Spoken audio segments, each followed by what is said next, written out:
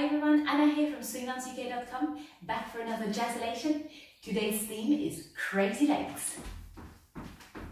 We're going to look at several steps and variations that have some crazy legs ideas. Our first aid goes like this. A one, two, three, four, five, six, seven, eight. Break a leg. Okay, then you turn around. You might know this variation from the end of the Big Apple routine. We're about to step, but there's a banana skin or something slippery, and we're to fall and wiggle the right leg. Step and fall. A five, six, seven, and step. A fall, step and slip. Our second eight. A one, two, three, four, five, six, seven. Have a little Josephine Baker moment here. And so for the Josephine Baker moment, we want to send the legs out and it's like a reverse bicycle motion to bring them back in. So I'm going to send my right leg out, lift the hip to make the movement a little bit bigger and then step inside next to the left foot. Same thing with the left, send it out, rotate, the hip is going to draw a little circle, bring your foot back in. A one, two, three. We'll start on eight. Eight. One, two, three. And then we continue a crazy leg. The footwork is right, left, right, but at the same time we're going to add the knees going out, in, out, in. Out, step, out, step, out, step. A one, two, three.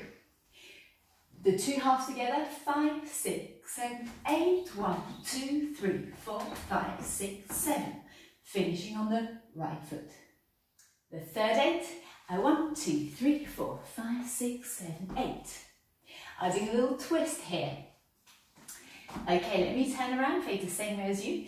We're going to take a heel toe to the left with the heel of the left foot, followed by the toe, followed by the heel, just to open up to the left. And then we're to twist that right knee. Well, five, six, seven, and step, change weight on eight. One more time, five, six, seven, and a one, two, three, four, five, six, seven, eight. The fourth eight looks like this.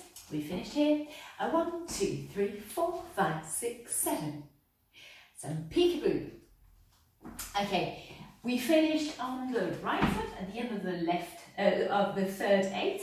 We're going to bring the left foot in the same way it went out. We go heel, toe, heel, and transfer the weight to the left foot.